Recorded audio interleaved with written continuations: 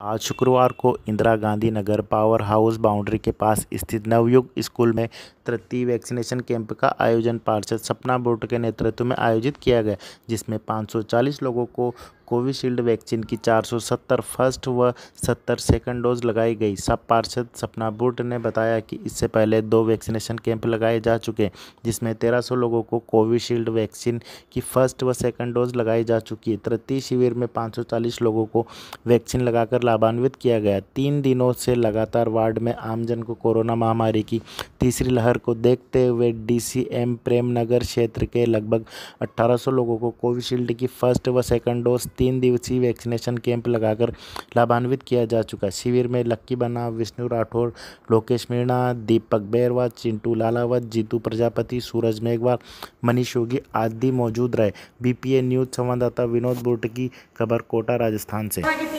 देखते हुए पिछले 16 तारीख को भी 800 डोज का कैंप लगाया गया था, वार्ड नंबर इकतालीस में। और कल भी 600 डोज का कैंप लगाया गया है, जिसमें कि कई लोग वैक्सीन से वंचित रह गए थे। उसी को देखते हुए आज 600 डोज का कैंप तीसरा आज फिर लगाया गया है। इससे कई लोगों को फ़ायदा मिला है। आने वाले कुछ दिनों में फिर कैंप लगाकर लोगों को कोरोना की तीसरी लहर से बचाने का कार्य किया जाएगा और उनको वैक्सीनेट किया जाएगा। हमारा यही प्रयास है कि जिस प्रकार से राजस्थान सरकार की कोरोना गाइडलाइन है, उसकी पालना की जाए और उसी के आधार पर सभी लोग वैक्सीनेट हो, ज़्यादा से ज़्यादा लोग वैक्सीनेट हो। इसी के उद्देश्य से हम लोग Eh, eh, eh. No. No.